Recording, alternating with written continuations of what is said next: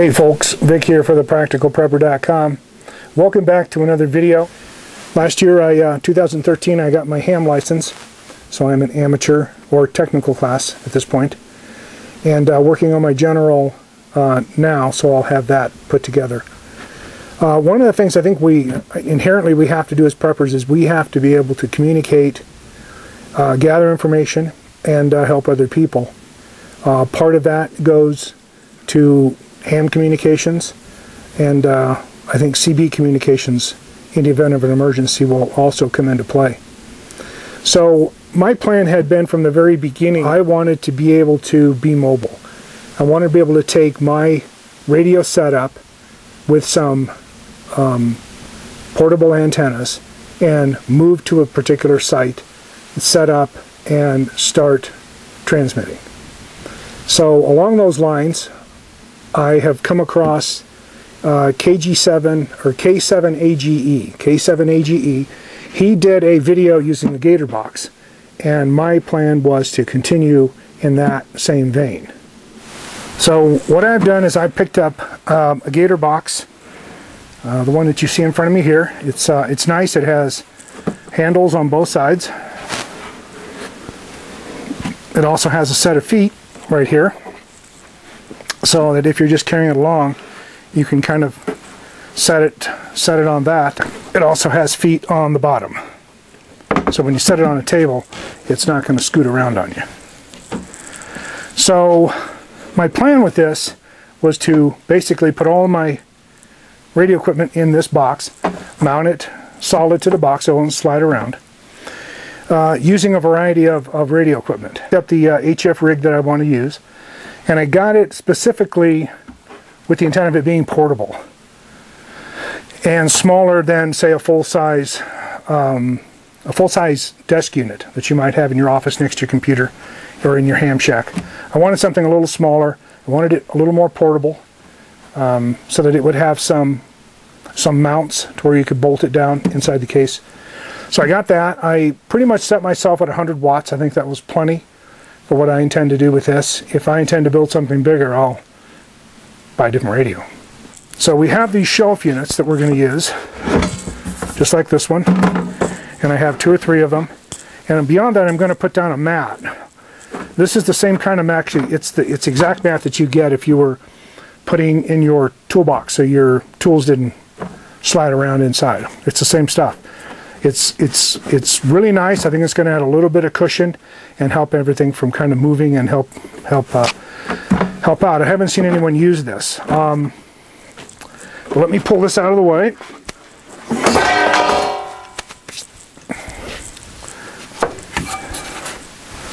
So my main HF is going to be this Kenwood, and as you see, it has a it has its own remote head which I'll mount down at the front. This is mounted remotely. So with this up front, this is the driver for all the units. You can do anything and everything that you want right here. And this unit, like I say, the reason I bought it is it's designed with feet, so I can actually bolt this down. It has a 20 inch tower setup. It has uh, all its power on the back side, mic, this panel connections on the front. You have a paddle, uh, and a key that you can put in here. And then this is your COM link right here on this one, right here. So I can I can set this into my laptop, and from my laptop I can actually do some of the do all the programming for this. Uh, I can also do packet, and I can send packet information, which uh, is becoming more and more useful in uh, emergency response and emergency communications. So I'm kind of building that into the unit. The uh, power supply will be this DM330 by Alinco. It's very good. It's got a meter. Also has some quick power outs if you just need to tie something on. 12 volt plug-in if you want to run that over with a USB and charge your phone while you're at it you can. Um, and it's got uh, it's got a meter. It tells you volts and amps. So it can tell you what, what your voltage is, tell you what your draw is. Really important to know especially if you're running on a battery, figure out how many amp, amp hours you have in the battery and how many amp hours you're using. So that'll be the power. So that gives me HF. So what I've got is uh, this is the Kenwood TMV71A. And then this is the kit, which uh, is an RCD710, which makes this unit, basically this front comes off, this goes on the back, and now it makes it uh, a D710. And um, the main difference in that is you can do packet. So this thing will also be able to packet on 2 meter, 70 centimeter, and I'll be able to do packet on DF. So, or HF. Um, so this is the same radio with this head that I have in my truck and I run all the time. And um, I really do like the radio. So then a couple other things we're adding, and uh, you know, West Mountain Radio has so much neat stuff that you just have to put it in. This is their PowerGate PG40S. It's a 40 amp power supply, and it takes your, it takes, this is the input for your power supply. This goes out to your fuse board, and this comes from your battery. And it has two fuses. Basically what it will do is being in a unit, if I'm hooked to AC power and I have a battery on standby next to it clipped in, this will actually charge the battery for me. Um, not a ton, but this will add up quite a bit of, it'll be charging back while I'm, while I'm just idle. So from this, then we go to the Rig Runner 4008, which 4008 because it has eight places. Um, this will run, this is incoming. So this is going to run my radios. I will have three radios in this. Um, I have five more spots that I can fill. But all this is lower ampere. This runs an amp up to 10 amps, and your radios you can plug up to 25 amps in. So um, anyway, that that'll disperse that. So the other thing I'm going to put in is I'm going to use uh, this Kenwood speaker. I happened to pick one up to put in my truck because I wanted to. The radio is mounted in a spot, but I want the speaker remotely. And uh, this is a really good speaker. I do I, I do like them. Um, I think the sound's pretty darn good, and um, they were pretty reasonable as far as pricing went. So I'm going to put one of those in, possibly two.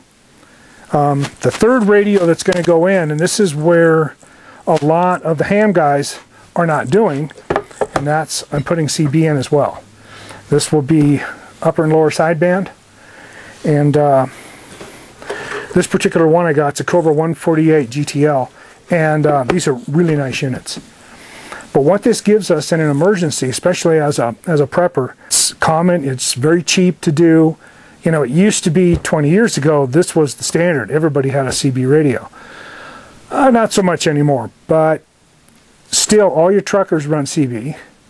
So, and they're the food chain. They're bringing in the tools, the equipment, the food, all the other things that you need. So it's nice to be able to get information and talk to truckers.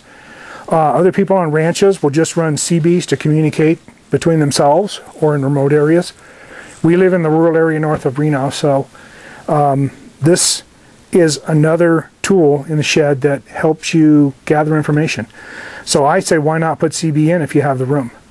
So uh, we're going to see how all this works out. It's going to be a tight fit. I've got to kind of go piece by piece, but I'll add a little bit of video showing this how this gets assembled and when this section's put in and kind of keep moving through it. But uh, hopefully it uh, makes sense to you when we're done and, and I think it's going to be I think it's going to be an excellent tool.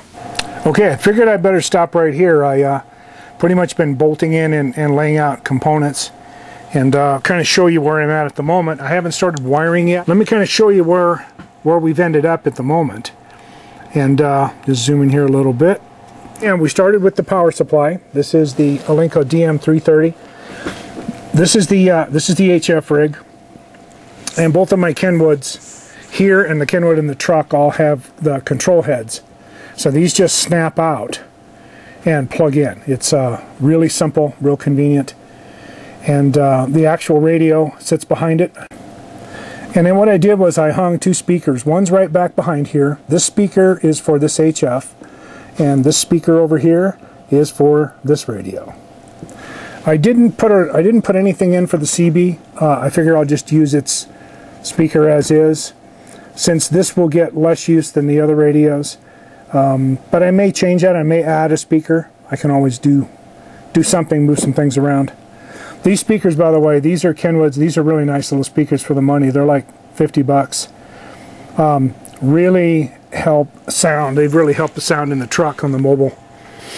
And uh, then up above here, this is my, uh, this will be my DX710. This is uh, 2 meter 70 centimeter. So moving around to the back, kind of show you what's here. So this is this is the 4008. So this has all this has eight fuse ports. So this is the power gate. Uh, the power supply, which is right here. So the power will come from this power supply into the power gate first. Then from the power gate, it'll run back up to this end of the 4008, and that will power the strip. The other terminal that's on the power gate, it's this one right here, is can go directly to a battery. So if you had a little battery here, you could run it over here. Let's see, um, of course the HF radio, and um, this is the back of the CB. This is the back of the 2 meter 70 centimeter. So this is the back of the DX710. Anyway, we'll come back when we get the wiring in and then I'll show you how we wrap this puppy up. Okay, we'll be back. Okay, we're back with you now. I've uh, moved the camera around to a different position. So let me move in here a little bit so that you can see. I'm just going to move in a little tighter. There we go. Okay, so let me show you a couple components. This right here is the power gate. So this actually has an input that is power supply, a regulated power supply, which is up front, our Alinco. This is output, which goes to the Rig Runner 4008, which powers all my devices. And uh, has fuses, and it's using all the Anderson power poles. This particular set right here is going to be plugged into a, I have a set of leads that's 10 feet long. Plug it in here, connect it to a battery right next to it, and now you have battery power if you don't have 110. So the rig runner's here. So we've got the output from the Alinco that goes in from the power gate runs back over to the rig runner and the rig runner goes out to each radio. So the HF is powered over here. So this is the HF power. The uh, CB is right on this side and the 2 meter 70 centimeters on this side. So it all worked out pretty darn well. Just to show you that little shelf that goes in there, that's this one right here. And this shelf just fits right in so that there we go so this cord sits on top this bag sits on top and um, this can be taken out if you want to service it and then you've got plenty of room to get to everything so what I'll do real quick I'm gonna go ahead and plug in the power supply now let me rotate everything around so there's my microphone I can set that aside so from this, this is our power supply. So if I turn the power on,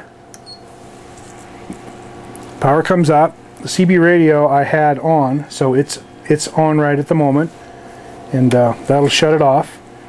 So the power's up, gives me voltage, and I can fine tune the voltage right here. So two Kenwood speakers. This Kenwood speaker runs goes the, with this radio.